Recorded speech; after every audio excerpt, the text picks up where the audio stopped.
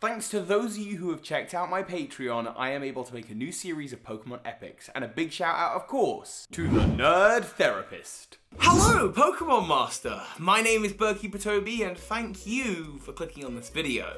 Spoiler alert, although how can we avoid this spoiler? It was the number one trending on Twitter a few weeks ago. Ash Ketchum won the Alola League. Well done, Ash. Well done, buddy. Congratulations. You win your first Pokemon League apart from the Orange Islands and Battle Frontier, because apparently that doesn't count. And this one maybe doesn't count because it was the first league and that somehow doesn't count, apparently. Get away, people. Let Ash have, like, one. Oh, yeah, but he used the mythical Pokemon. Look, Ash has won this league. Ash Ketchum has been working very hard for many years, and it's honestly a surprise he hasn't won a league already.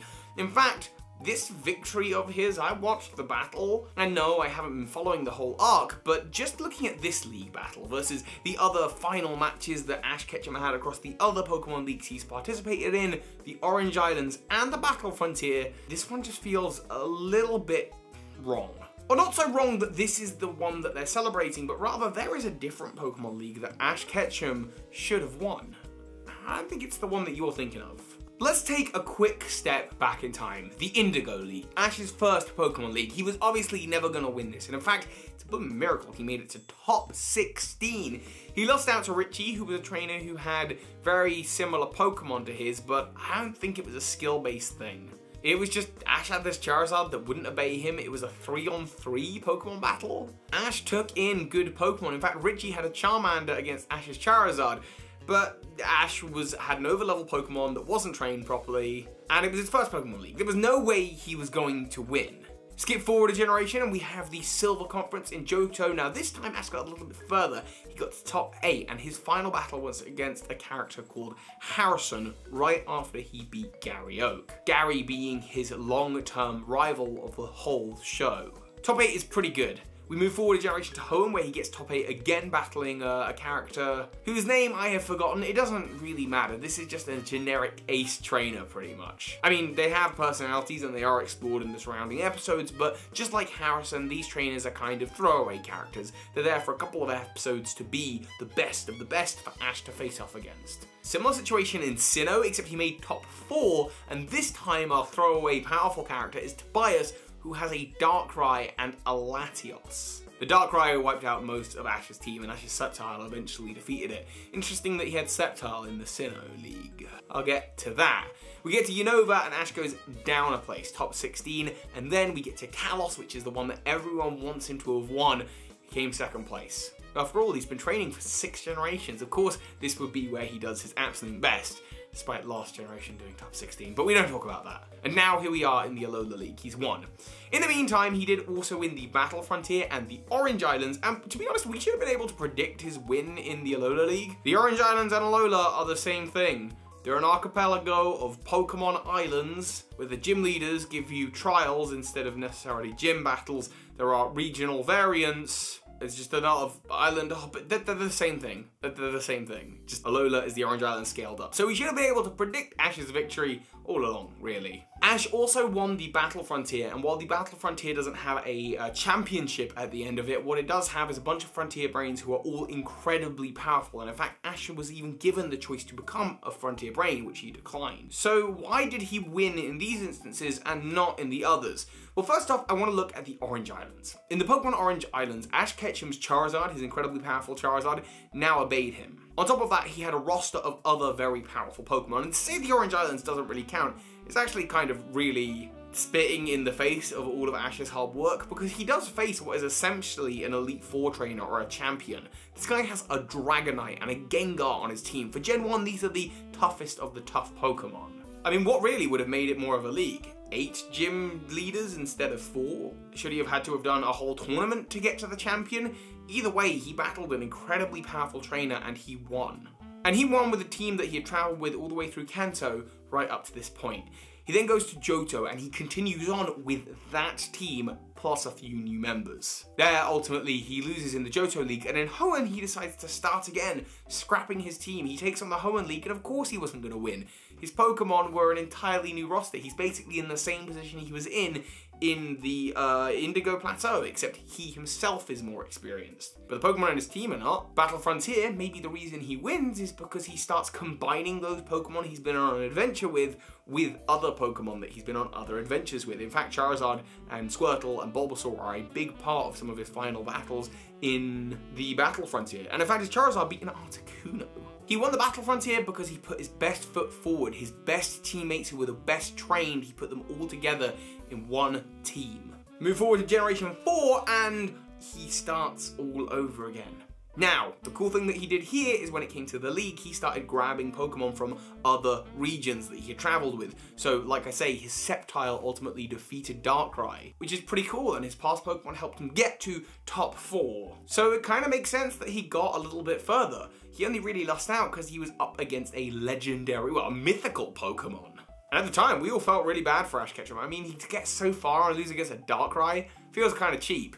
I'd actually feel the exact same way if Gladion hadn't also used Silvally, but yeah, Ash used Melmetal, and that's how he won the Alola League. So uh, yeah, if, if Gladion didn't have that Silvally, I would have actually been pretty upset for him. Then we move to the Unova League, and no duh, he goes down to top 16, because yet again, not only does he start the region with new Pokemon, but the league, he doesn't incorporate any of his older Pokemon. Now, Kalos, he does do a lot, lot better. Despite the fact that he's starting with an all-new team, but to be fair, he had three incredible assets on his team. He had two pseudo-legendaries, kind of, if you count Noivern as a pseudo-legendary, and Goodra, and he had the Ash Greninja, which is a very special Greninja.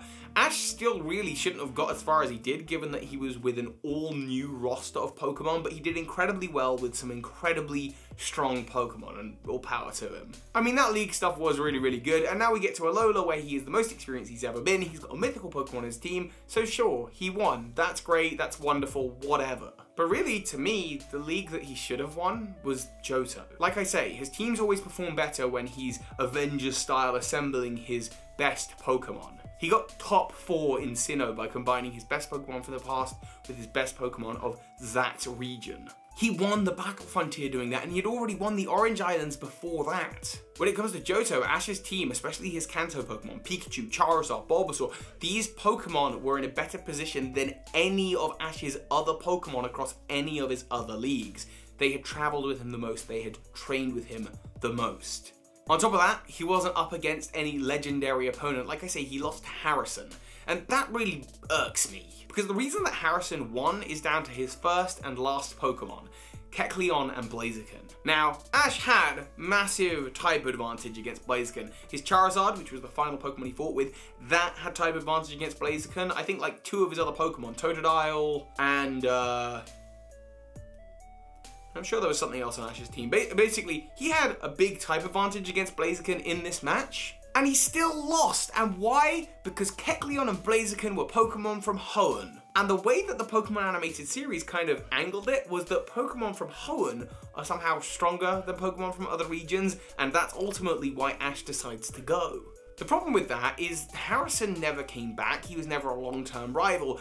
Ash's longest term rival was Gary Oak the whole tournament had a kind of episode set up to their backstory, and then you, you knew who he was because you had seen him in the show since the first episode.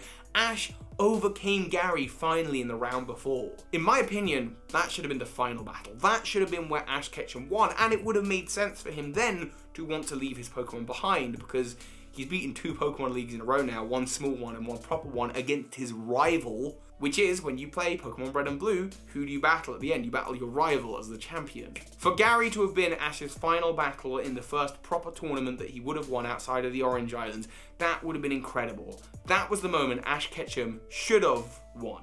Yes, don't get me wrong, his team was good in Sinnoh and it was good in Kalos, but he had less experience with those Pokemon versus the Pokemon that he had with him on his Johto team. And he was clearly experienced enough to beat powerful trainers like the one with a Dragonite. And honestly, he doesn't even use his Charizard that much between the Johto arc and then when it beat an Articuno in the Battle Frontier. That Charizard is strong. It was strong enough. His other Pokemon were strong enough. I think Pikachu takes on like some of the Regis in the Battle Frontier. Although granted, Pikachu does have more training. It's the only one to have consistent training. Although theories about its level resetting. The point is, while I am very happy for Ash Ketchum and the fact that he's won the Alola League, I really, really am. I'm glad we've got there. I'm looking forward to the future of the animated series. I gotta say, looking back on it now, Kalos, it was kind of cool that he came in second actually. It really added some extra heat for this new series in Alola. With Unova, he was never going to win that. We were, he didn't include any of his old Pokemon. With Sinnoh, you know, he didn't really stand a chance against Darkrai so much, so that's totally fair. He had no legendary Pokemon of his own. In Hoenn, it made sense that he lost. He had an all-new team, just like in Unova. And actually, same again for the Indigo League. It was obviously he was going to lose. It was his first league. But, just like the Battle Frontier and the Orange Island before it, the Johto League is where Ash Ketchum, definitively, in my opinion, should have won. What's next for old Ashy boy? Well, I actually suspect we won't be following the journey of this Ash Ketchum anymore. The trailer for the new animated series, and this might have even been confirmed by the time this video gets to you. Now that I'm working on my new Pokemon Epics, I gotta do a little like little bit of pre-recording, so there's that. Uh, but yeah, my expectations for the next series is that we're not gonna follow this Ash Ketchum, the same one we've been following for all this time. Although, theories about how they're a different Ash Ketchum. In my opinion, we're probably to be following the journey of this Ash Ketchum from I Choose You, the movie, and the one that came out after that, The Power of Us. I reckon we're going to see more of an anthology series with a, this kind of nameless, timeless Ash that just kind of travels around different regions and sees the sights to be seen there. But I don't know, maybe I'm totally wrong. Maybe the trailers come out and we're definitely following the same Ash. Anyway, let me know what you think. Is there a different league that he definitely should have won? Let me know in the comments. Be sure to leave a like, otherwise my Snorlax here will sit on you. Thank you for watching this video, and of course, so hi Pokemon Masters. This is Ash Ketchum. You just watched a video by Birdkeeper Toby. That makes you a Pokemon Master.